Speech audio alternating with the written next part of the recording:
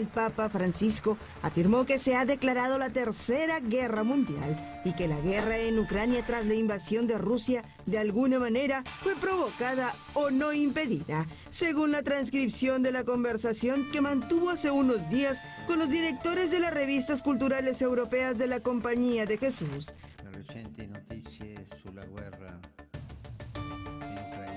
Para Francisco, existe el peligro de centrarse solo en la brutalidad y ferocidad con que se libra esta guerra por parte de las tropas, generalmente mercenarias, utilizadas por los rusos.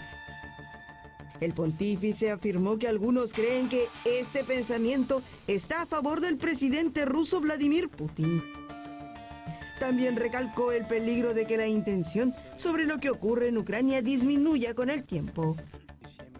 Jorge Bergoglio volvió a contar que durante la conversación de 40 minutos que mantuvo con el patriarca de la Iglesia Ortodoxa Rusa, Cirilo, este le leyó una declaración en la que daba las razones para justificar la guerra. Y en Chile